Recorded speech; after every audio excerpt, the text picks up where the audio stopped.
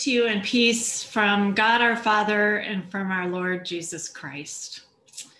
The Runnings forwarded a video message uh, from the Bishop of the Metropolitan DC Lutheran Synod. And I'd like to try to share part of it uh, now. This uh, may or may not work very well. First, I'm going to do this. Oh dear, see, this always happens to me. Ah. All right. Um, pardon me.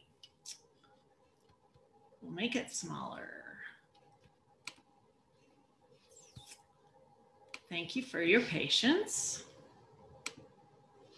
There we go.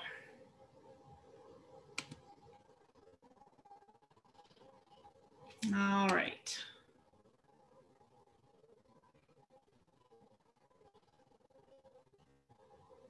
Are you able to see it? Uh-oh. Okay, good. Grace and peace to you from our Lord and Savior Jesus Christ.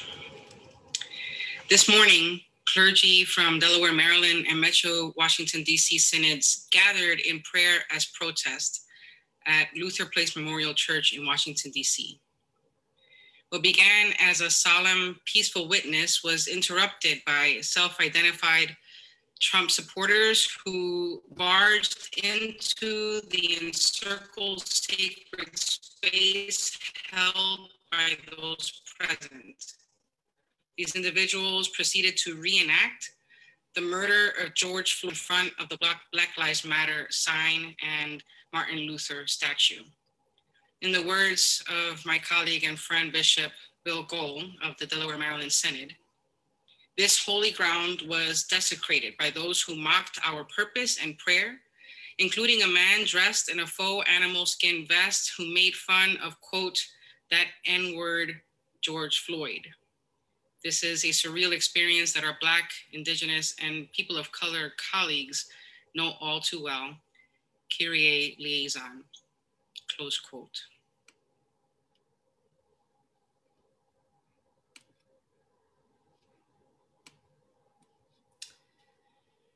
The church season of Epiphany started that very same day, Wednesday.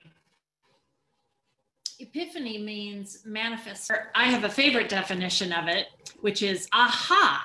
It's that moment when we see the truth. Oh, that's the truth of what's been there all along. Sadly, the events of this week in our capital are an epiphany of the very worst kind. The bishop's experience to me, perhaps even more than the brazen insurrection in the Capitol building, reveals the evil at the root of such lawlessness. People's delight in violating the humanity of others, based solely on their race people's sick disregard for all that is sacred in faith and in our common life together as a nation. Tragically, this epiphany reveals that what we've always assumed was, quote, over there, is also here. At first glance, these uh, gospel readings, and I did choose two, um, seem as serene and removed from our recent chaos as anything can be. First, those dignified magi willing to cross Asia, following a star of wonder, star of light into foreign territory, and finally finding the babe they were seeking. But what our nativity set kings don't show us is King Herod himself, the cruel despot, lurking too close for safety. When he learns the Messiah has been born, he commands the slaughter of all Jewish boys. And you have to understand, he was Jewish himself. He commands the slaughter of all Jewish boys younger than two years old. Can you even imagine that? And why? Just to protect his power. His subjects mean nothing to him.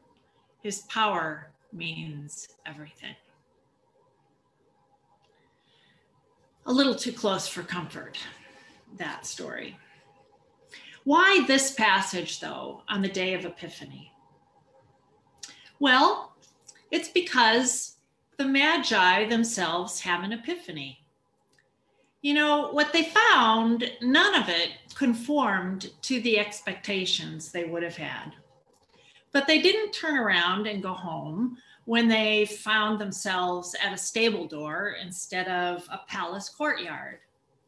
They didn't look in and decide, well, this child is just way too common and poor to deserve our gifts. They didn't turn up their noses and decide the whole journey was a waste of time. Nope. They managed to let go of their cherished illusions because in their wisdom, they could see if this peasant baby is the long awaited king, it doesn't mean we've calculated wrong it means God is about to turn the status quo on its head. Divisions and hostilities will cease.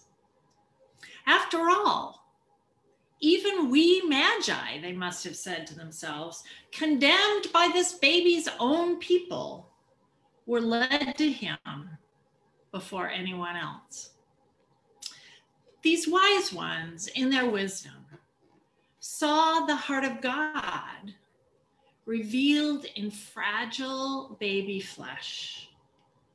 Only love of the most cosmic and intimate kind could have orchestrated this.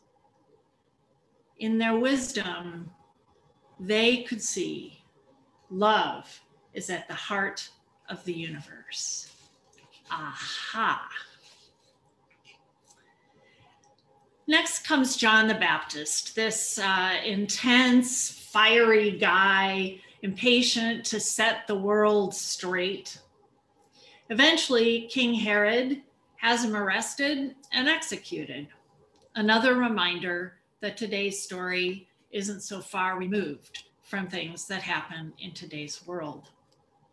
At this point, though, he's out in the wilderness and he's freeing people from the weight of their sins by immersing them, or we say baptizing, that's the Greek word, baptizing them in the Jordan River. And John says, You know, this is what I'm doing. It's all just preparation. For whom? I honestly don't know. I just know he's on his way and he is so powerful. I'm not worthy to tie his shoes.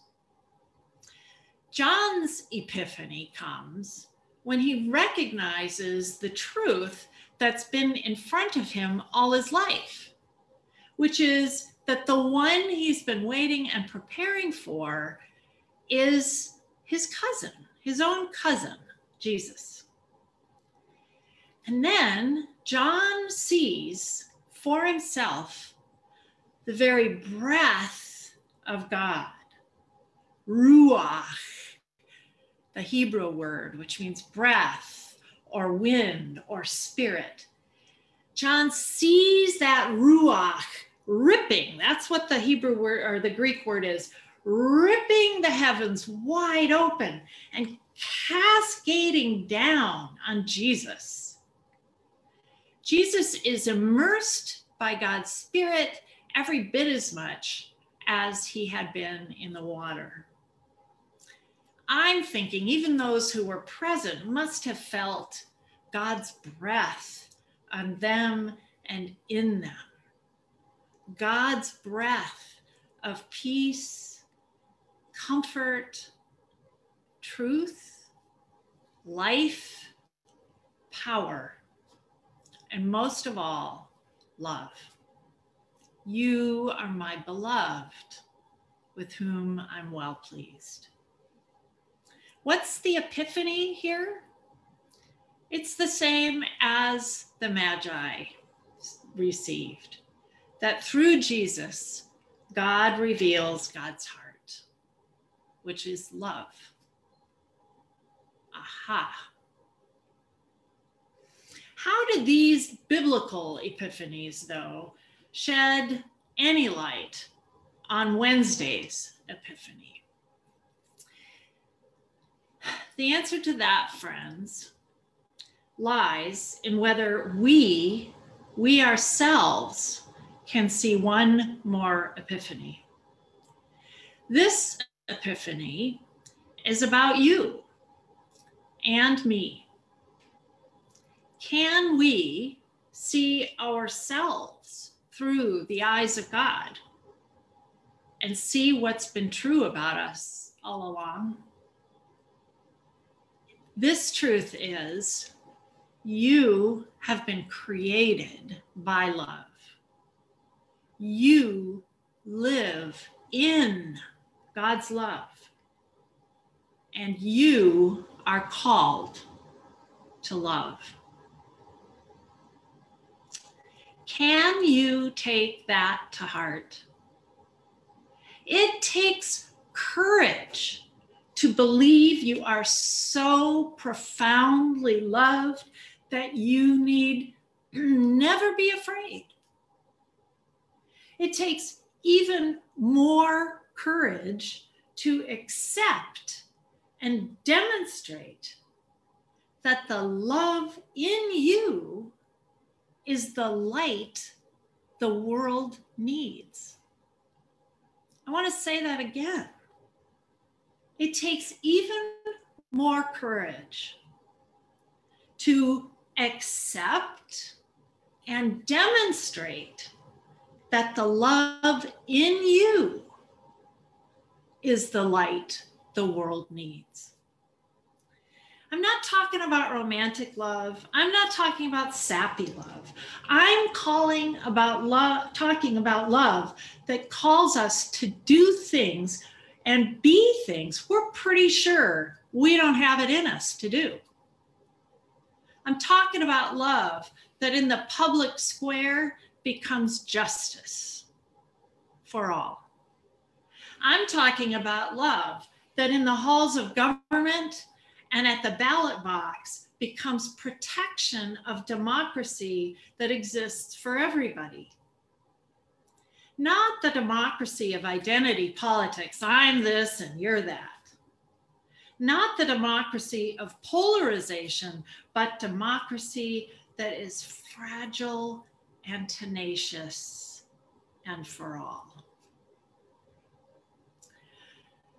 Does love seem too weak to you to counter the evil manifested on Wednesday? Love so often seems like little more than a way to sell perfume or movies. I think we forget that love has real power to cast out fear, to instill hope, to shed the light of truth on sin and evil, and to give voice to those without names. Friday night, I watched a frontline show about Maria Ressa the Filipina journalist who is standing up to the increasingly oppressive measures of Duterte. Not sure that Duarte. She's been arrested repeatedly. She's been publicly threatened by the president. And even though she could quite easily live in the United States, she chooses to wear her bulletproof vest and report the lies of the president, to speak out and to tell the truth. At one point, she's in a hotel room and she's preparing a speech and she's asking herself it's, if it's too schmaltzy. But finally, she decides that what she must say is this anger and fear divide. It's not with hate, but with hope and love that we hold the line. At her staff Christmas party, she quotes Bono You can't fight monsters by becoming monsters. And she goes on to her staff What prevents us from becoming monsters? It's one word. It starts with L. And of course, they all shout, Love. That, what we see in Maria Ressa, that is the bold courage of love. Friends, brothers and sisters in Christ, fellow members of the body of Christ, you are the salt of the earth. We are the light of the world. Aha. Everyone has now seen the epiphany of evil that erupted on Wednesday. It has its own belief systems and saints and creeds and rituals. But how many have seen the epiphany at the heart of God that needs to be seen and known? That is our reason for being, our Redeemer's Lutheran Church. Our vision statement says it clearly. We are a community in the model of Christ, Christ who revealed God's heart of love. And that is why we are inclusive and caring. That is why we must be willing to accept challenges and take risks for the life of the world. God calls us to bravely, hopefully, wisely, openly live out our baptismal calling in the power of God's own spirit, in the self giving love that is traced in the form of a cross on our foreheads at our baptism, and in the mission that we share. We're called to reflect the light of Christ into our world in our times with bold and boundless love. I want to close with a quote. Sara Miles was a war correspondent, and she grew up scorning Christians as lazy thinking, uh, wishful, uh, no goods. Um, but somehow she found herself coming to faith. Here's what Miles says At the heart of Christianity is a power that continues to speak to and transform us. As I found, to my surprise and alarm, it could speak even to me.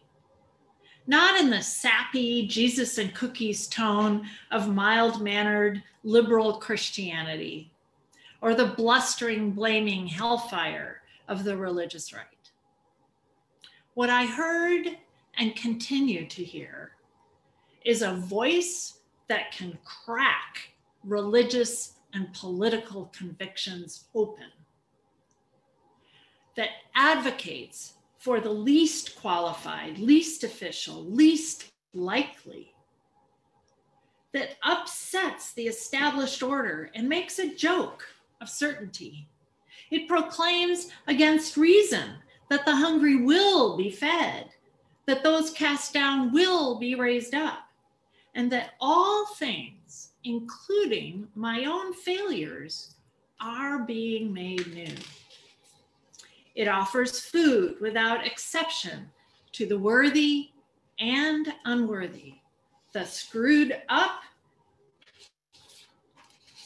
pious and the pious, and then commands everyone to do the same. It doesn't promise to solve or erase suffering, but to transform it, pleading that by loving one another, even through pain, we will find more life. And it insists that by opening ourselves to strangers, the despised, or frightening or unintelligible other, we will see more and more of the holy, since without exception, all people are one body, God's. Ah, ha. Sara Miles' eloquent words remind me how important it is, as St. Paul says in Romans 12, that we who follow Jesus not be shaped by this world, but be transformed so that we live from the gospel and are able to overcome evil with good. This is our hope. This is our calling. This is the love revealed in Jesus, God's epiphany. Aha. Thanks be to God. Amen.